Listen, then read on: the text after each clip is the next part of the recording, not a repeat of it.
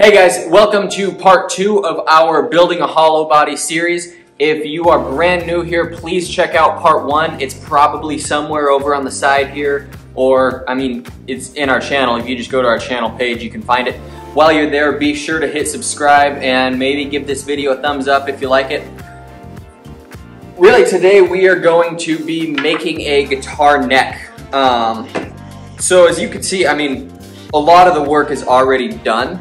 So I hope you don't really feel cheated out of anything, but we do this stuff well in advance of building the rest of the guitar. The reason being, and if you can see this here, this is our neck blank, and we already have it pretty much contoured. We have our headstock angle and everything put in, um, truss rod slot. The reason we do all of this stuff in advance is because with any wood, I guess we'll take it to like a 10,000 foot view. Um, as a tree is growing, there is a ton of stress put on it at all times. I mean, the thing weighs several thousand pounds. There's all sorts of external factors, wind, rain, things like that, that put stress on the tree and create tension in the wood. Well, when you mill into any sort of wood, you're to end up releasing some of that tension and that's to cause twisting, warping, things like that that in a guitar neck aren't very good. So we build our necks about three weeks in advance of the bodies, or I guess we start them about three weeks in advance of the bodies, just to make sure that any twisting, warping, we get all of the tension out um, by building it slowly instead of trying to rush through a guitar neck and you know you end up with a final product that twists and moves. Um, we do this to create the most stable and resonant base for our necks possible and give them the best possible chance of surviving in the wild. Um, we have, again, this killer ebony fretboard that first things first, we are gonna go get our fret slots into this and then we'll get it mounted, do all of our inlay, and hopefully have a guitar neck here in a minute.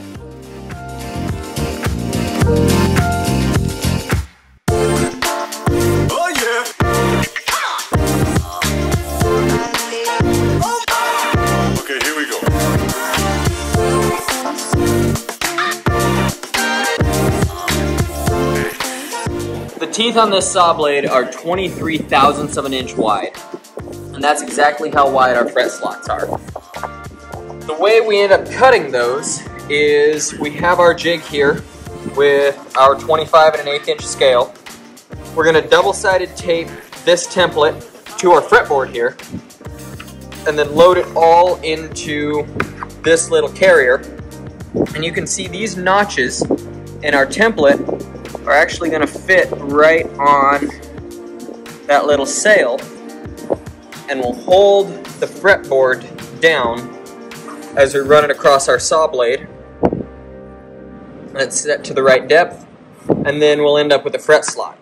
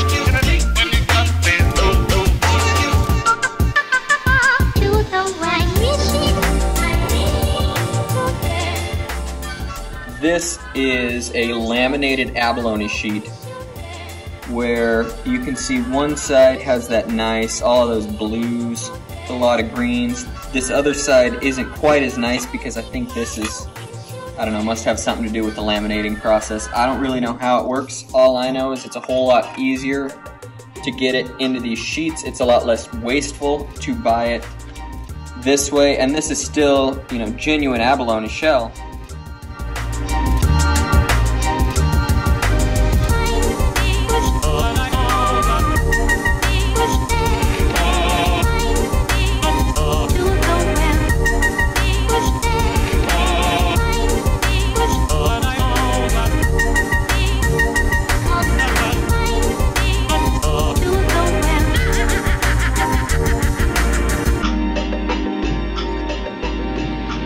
One thing we haven't really talked about yet is registration. All of our templates line up on these little registration pins right here. It's just 1 16th brass rod.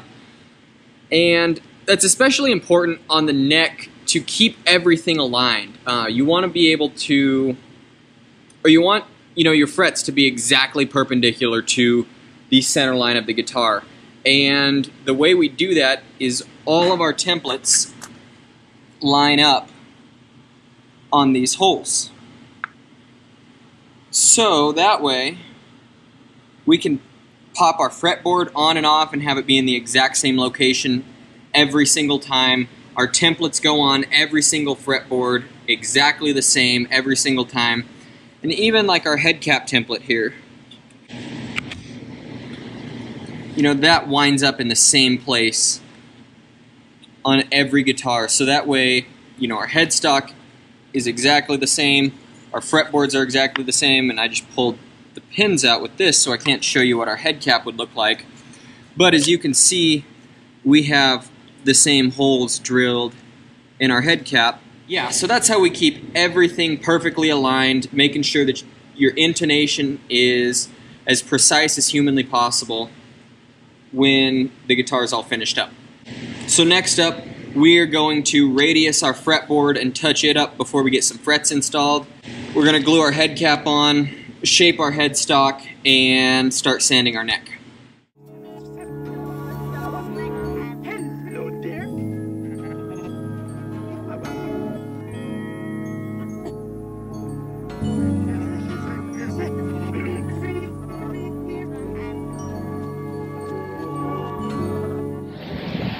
Really hard to film on our fretboard radius jig, but I do like to finish off all of our fretboards by hand with a standard radius block. So you can see here we're using the uh, 12 inch radius side. Um, that just, you know, any slop that there might be in the machine using this block and sanding by hand helps get that out, helps make sure our fretboard is completely straight before it gets put on the neck.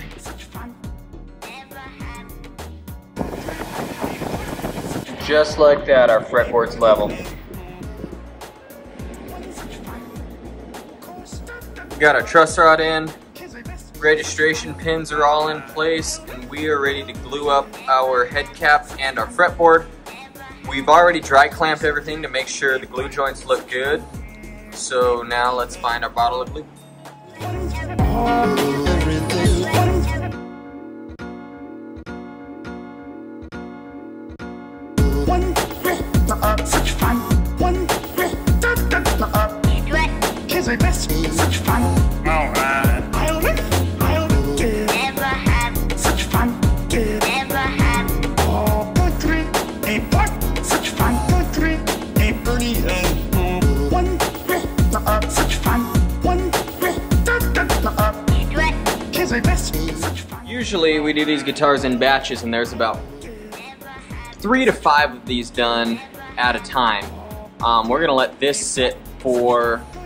about an hour and then we can unclamp it.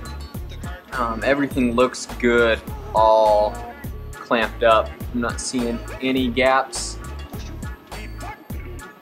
anywhere we need to adjust. Um, we don't use a whole lot of clamping pressure for this joint, mostly because a good glue joint shouldn't use a whole lot of clamping pressure. All you want to do is hold the two pieces together until the glue dries. The reason we actually clamp it up with our three C-clamps and then we use spring clamps for the rest of it is because sometimes the moisture in the glue that we use can cause corners and edges to warp. So in the main part of our neck, where we're not as worried about that, we can use these C-clamps and this clamping caul. But just to be safe, we use these spring clamps on the end. So after all of that, here's where we're at.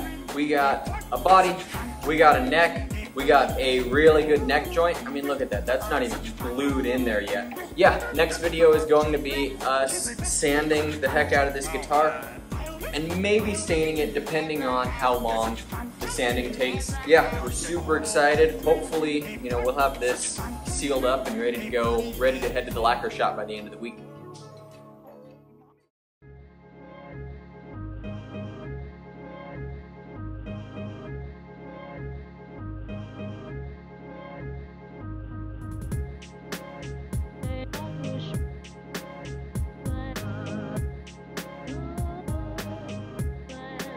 Hey, thanks for watching. If you liked that video, be sure to give it a thumbs up and hit the subscribe button and check out our channel for more guitar related content.